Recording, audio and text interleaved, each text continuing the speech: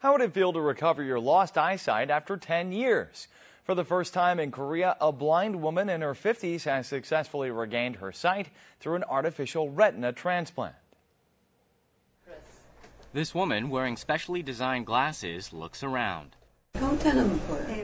She recognizes her husband for the first time in 10 years since she completely lost sight caused by a genetic illness.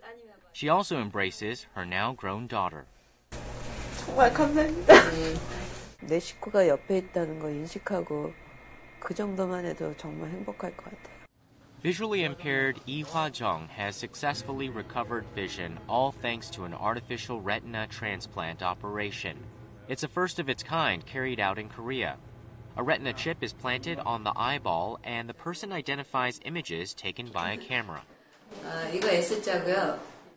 The camera attached to the glasses takes an image which is then specially processed by a portable computer and transferred to the retina chip. Cerebral nerves are then stimulated and perceive the transmitted image.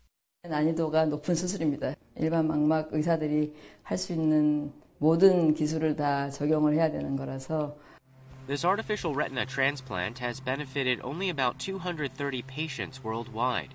It's only been implemented in a handful of countries, including the US and Britain. Some 10,000 visually impaired Koreans who suffer from genetic retina disorders can also regain eyesight through this operation.